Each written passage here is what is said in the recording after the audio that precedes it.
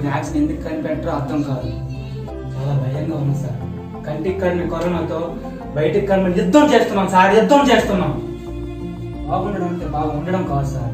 Corona లేకపోవడం corona లేకుండా ఉండడం. ఇప్పటికీ మేము తాగేటప్పుడు పసుపు నీళ్ళు బయటికి వెళ్ళినప్పుడు ఒక మాస్క్ శానిటైజర్ అలాగే ఓడుతున్నాం సార్ ఓడుతున్నాం కరోనా అంటే మాకు చాలా భయం సార్.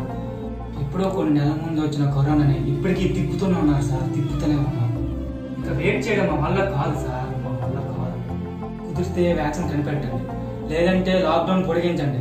కానీ దయచేసి మేము ఉన్నాం గుర్తించాం సార్ గుర్తించండి